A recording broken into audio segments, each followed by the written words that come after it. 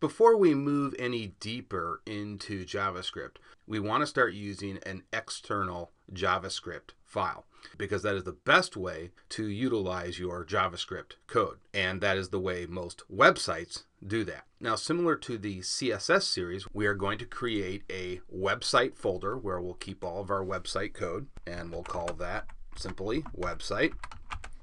And we're going to use the HTML code uh, from the second video. I think that was on statements. So let's just move that into here and let's open that folder now. And now let's create our JavaScript file.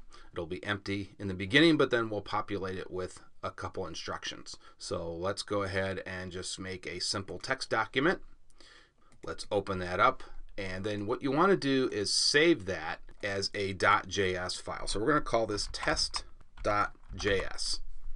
And then you want to select all files and make sure this is ANSI right here. And then we'll hit save. And there you can see we've got our nice little JavaScript file now. And we can delete our original text file.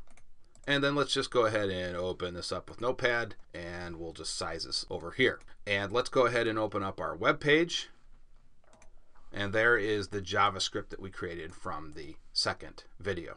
And uh, we're just going to reuse this. This isn't a tutorial about creating JavaScript code. It's about actually using an external JavaScript file. So let's just put in something different just to be different. And let's just say we are now using a JS file, something like that.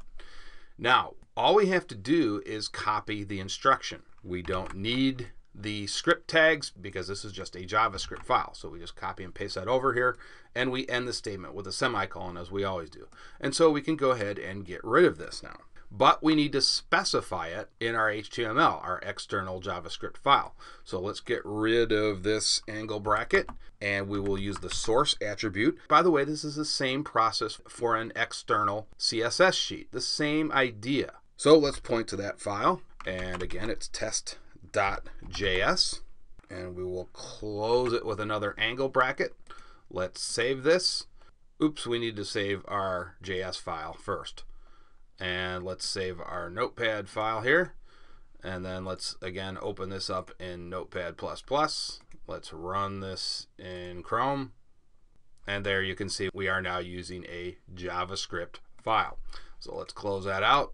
Let's close everything out now.